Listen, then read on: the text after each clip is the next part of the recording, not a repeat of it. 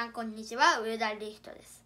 前回の鎌倉殿の13人では、重要人物が3人残りました。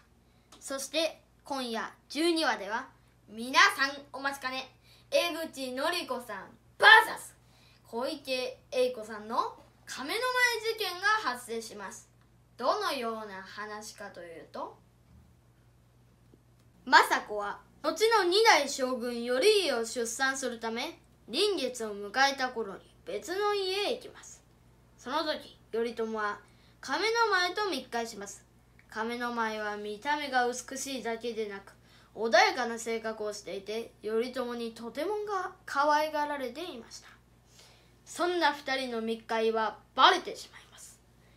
政子が出産後鎌倉へ戻ってきた時に宮沢りえさん演じる陸に頼朝が浮気をしていたことを聞かされました。当然政子は激おこぷんぷん丸です。政子は陸の父である牧宗近に亀の前の家を壊すよう命令します。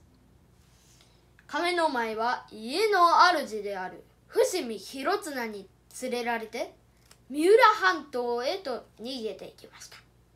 その後頼朝は三浦に逃げた広綱のもとにやってきて家を破壊した宗近を呼び呼び出します。